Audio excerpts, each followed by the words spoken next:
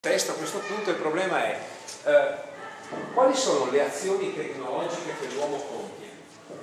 Le azioni che, eh, che l'uomo compie sono praticamente quelle che vedete eh, messe all'interno di quel riquadro. Progettare, produrre, distribuire, consumare, dismettere, riciclare e rinaturalizzare. Queste sono le azioni che dal punto di vista tecnologico l'uomo compie per modificare per agire sulla realtà.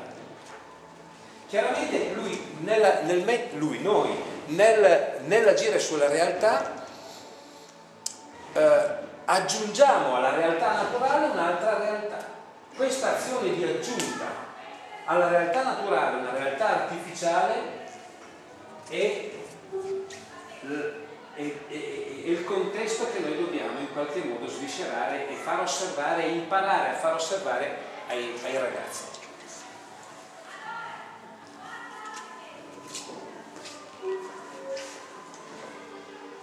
Ora, se quelle sono le azioni, progettare, produrre, distribuire, consumare, dismettere, riciclare, rinaturalizzare, i bisogni che l'uomo o le esigenze che l'uomo ha normalmente nella quotidianità sono queste, abitare, vestirsi, nutrirsi, conoscere, esprimersi, muoversi e la salute, il benestare.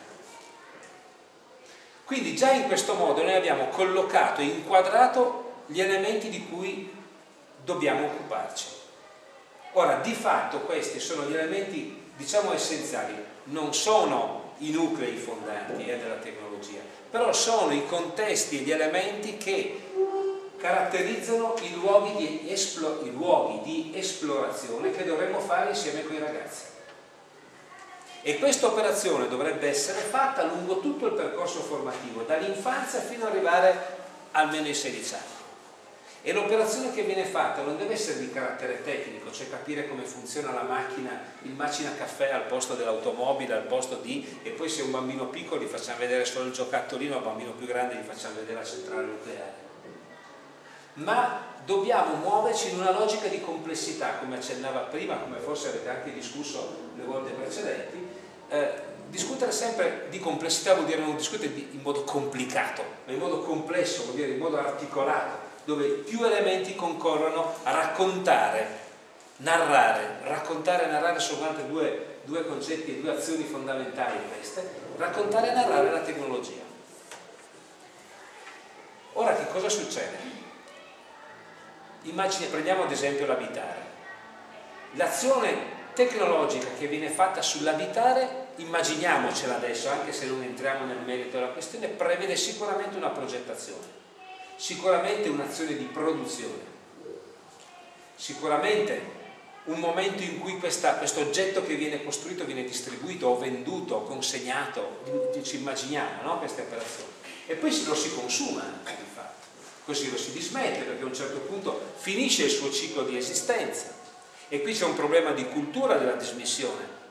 Adesso parlando di abitare la cosa è un po' più complicata, ma parlando di una lavatrice diventa più facile capire la cultura della dismissione per cui noi a volte abbiamo degli oggetti che continuano a funzionare ma che probabilmente è meglio dismetterli perché altrimenti quelli ci procurano dei costi di, manu di manutenzione e soprattutto di mantenimento che sarebbero troppo alti perché sono ingegnerizzati, pensati in un periodo, in un'epoca dove ad esempio l'elettricità costava di meno per cui adesso non è più necessario oppure per cui il problema del eh, dell'ambiente non era preso in considerazione, per cui il saper quando dismettere un, un sistema, un artefatto per sostituirlo con un altro è estremamente importante.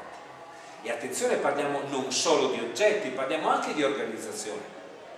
Cioè quando un'organizzazione ormai vecchia ha, ha raggiunto il suo massimo di maturità, devo essere in grado di prevedere quella futura e devo essere in grado di poterla saper sostituire, non posso fare continuamente il lifting su questa, su questa organizzazione quando di fatto ho bisogno di essere modificata.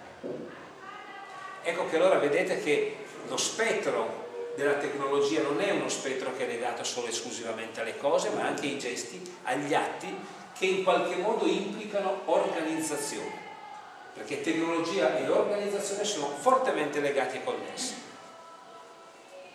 Allora uno dice a un bambino di eh, a un bambino dell'infanzia cosa gli vado a raccontare?